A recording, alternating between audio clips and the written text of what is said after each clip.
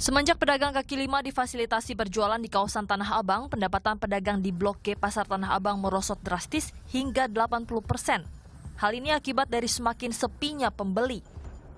nggak jadi malas naik gitu malas naik ke sini tadinya kan eh, kebanyakan kebanyakan naikkan ke naik ke atas kan ke sini semenjak ada PKL ya pada ke sana lah Para pedagang juga merasa diperlakukan tidak adil lantaran para pedagang kaki lima tidak dikenai retribusi dan diberi fasilitas tenda.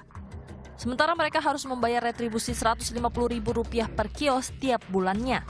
Selain itu, sejumlah fasilitas yang dulu digunakan untuk menarik minat pengunjung juga sudah tidak lagi dioperasikan. Para pedagang di Blok G dulunya adalah pedagang kaki lima dari kawasan stasiun Tanah Abang yang sudah direlokasi. Namun meski sudah ditawari pindah ke bawah untuk berjualan, mereka tidak mau. Saya walaupun ditawarin untuk tinggal di bawah untuk pedagang di bawah. Cara saya saya juga nggak mungkin. Gitu.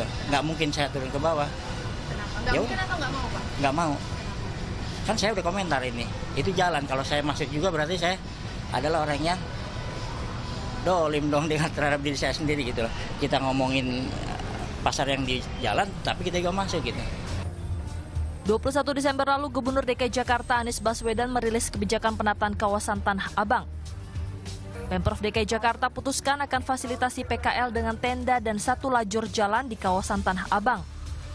Selain itu, Pemprov juga akan sediakan bus Transjakarta gratis bagi para pengunjung yang hendak mengeksplorasi wilayah ini.